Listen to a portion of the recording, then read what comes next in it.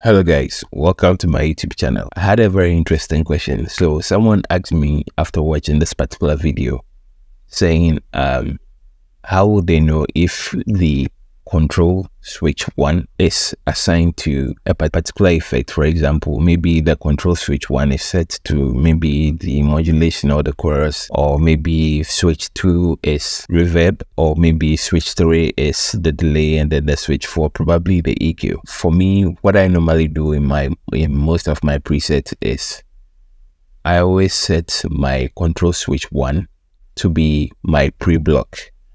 So you realize in this particular preset, you see this is where my uh, pre-block is. When I turn on the uh, control switch one, you realize it still turns on even though I've changed the position of the pre. And then switch two is always the distortion block. So you realize it's off and it's on. When I go to other presets, then save, control switch two, always the distortion block. When I go to other presets, you realize my C or my control switch 3 always turns on and off the modulation block. And then my D is my delay. So it's on. Now I've turned it off. So this is basically my general rule of like uh, creating presets.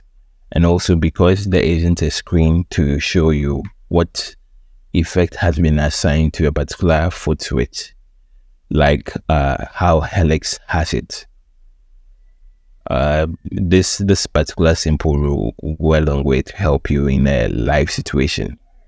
But in a case where you feel uh, maybe the effect or the presets that you created doesn't necessarily need all of these things, you can probably uh, switch things up a bit. Generally, it will be easier to even remember maybe this particular effect has uh, maybe my the D would be your reverb.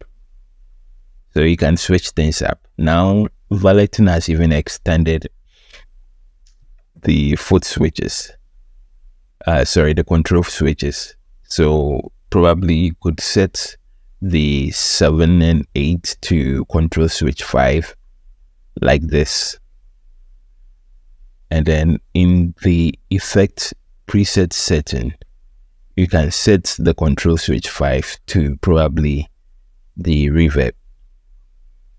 So you can save and then over here, I only have eight buttons, but Valeton allows you to do button combination. Button 7 and button 8 will be my control switch 5. When I hit it, you realize my reverb is off so yeah, this is basically what I do. You could probably adopt it to suit your preset creation abilities. Thanks for watching. Don't forget to hit the subscribe button. See you next time. Sorry for the background noise though. Thank you.